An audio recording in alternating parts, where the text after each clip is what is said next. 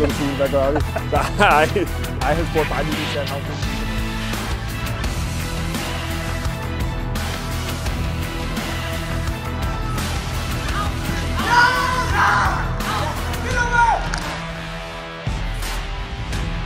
Oliver Jeppe, 18 år, defensiv midtbane og anfører på Brøndby 19. Okay, jeg prøver lige en gang til.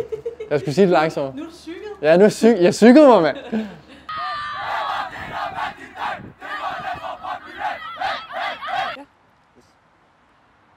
Christian, I vinder 3 i Lyngby i dag. Sådan set udefra en ret helt støbt øh, kamp fra jeres side i dag. Hvordan oplevede du det?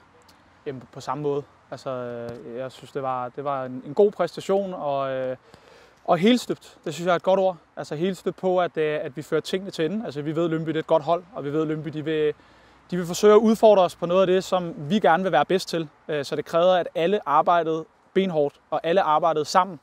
Øh, Og det, det gjorde vi i dag. Øh, Og det her hold er ved at finde ud af, øh, hvor sjovt de kan have det, hvis de arbejder hårdt. Og det lignede nogen, der havde det sjovt i dag.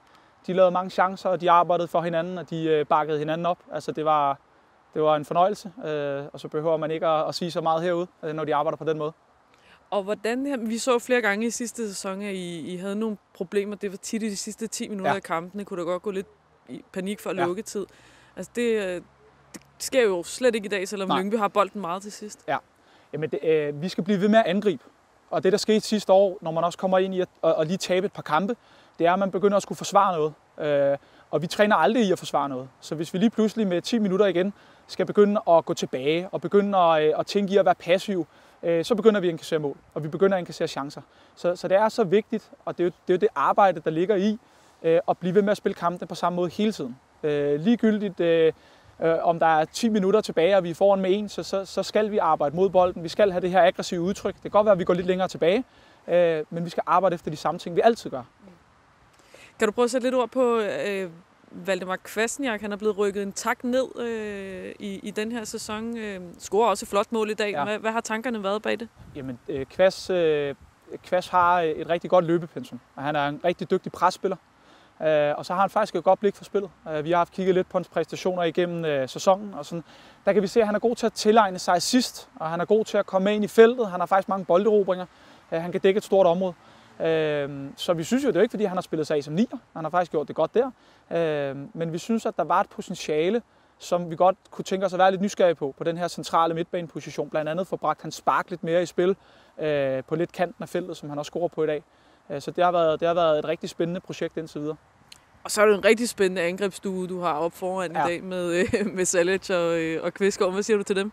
Øh, jamen det, det, det, er der er selvfølgelig noget kvalitet. Altså det er to dygtige spillere.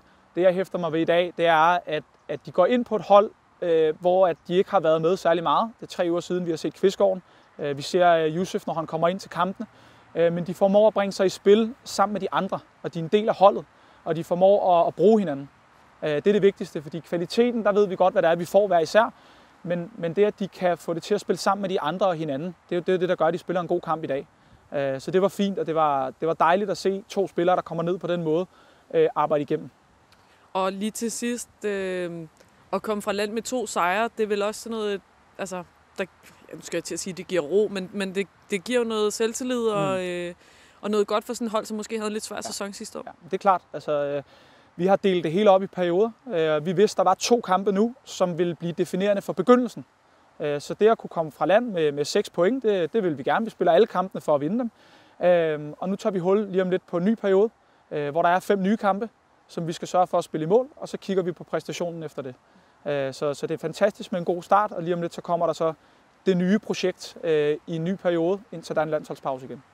Fremragende. Tak for det, Christian. Tillykke med sejren. Tak.